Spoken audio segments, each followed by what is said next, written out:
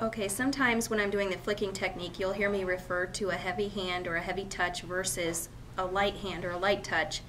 And what I mean by that is the pressure that I'm using when I put that tip down on the paper to make that flicking motion. If I'm coloring an area where I want larger, less defined um, lines, I will use a heavier hand and more of the nib or the side of the nib when I'm doing that stroke. When I'm using a lighter hand or a lighter touch, I'm going to be using more of the point and using a very gentle, light pressure when I'm making that flicking motion.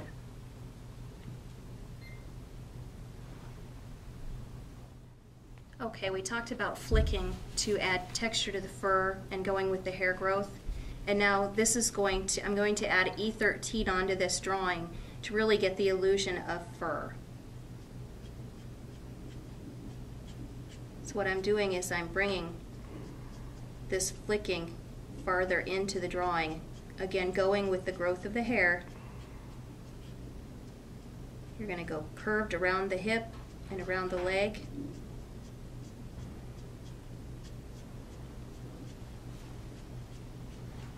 And this is going to add that illusion of, of depth and dimension to the dog and the texture so you really get the illusion that this is a furry animal.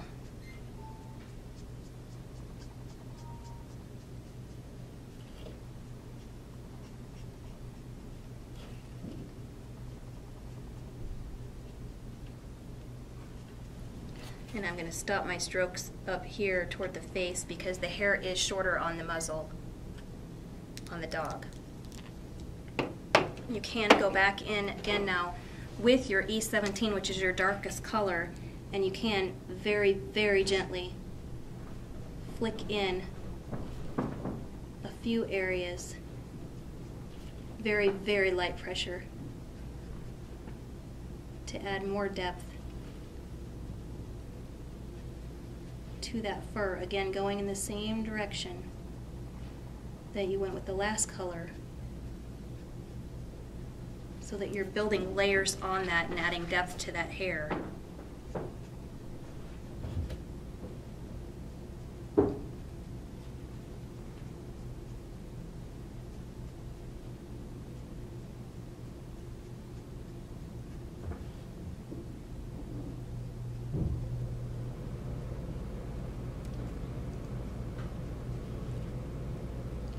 You're just building that up.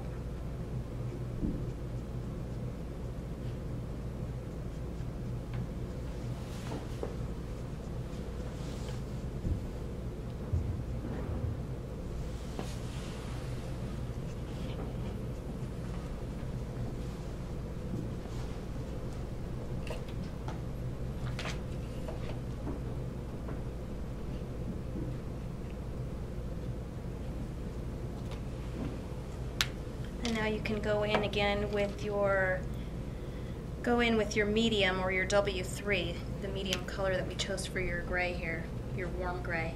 And you're going to come in and you're going to flick in a little bit into this ruff also, going with the growth of the hair. and in with your W5, very, very gently again, very, very light pressure in just a couple of places here.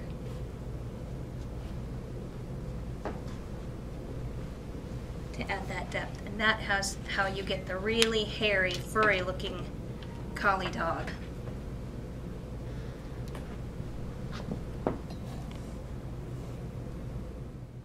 So to review, to get that realistic illusion of fur, to get that depth, you're going to want to base coat and then do your flicking. And it's all about layering your flicking in the different colors that you've chosen to build up that um, depth and that realistic look because fur and hair have so many different colors in them.